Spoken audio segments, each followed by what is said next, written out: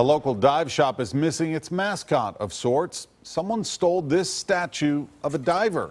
The diver lived on the front porch of the Island Hopper Scuba Shop over in the Berry Hill area on Bransford Avenue. It was a favorite with all the customers, and they'd even stop to take photos with the statue. The folks at Island Hoppers, well, they noticed him missing this morning. He's about 24 inches tall, made of a hard resin. Looks just like this little guy right here, but he's much taller. Uh, he's been kind of an icon of the store for years and years. We've had him for uh, four or five years, and somebody decided they liked him better than we did. Wow, there's a reward for him. If you spot the dive statue for sale somewhere, let the shop owner know, and they'll give you a $100 store credit.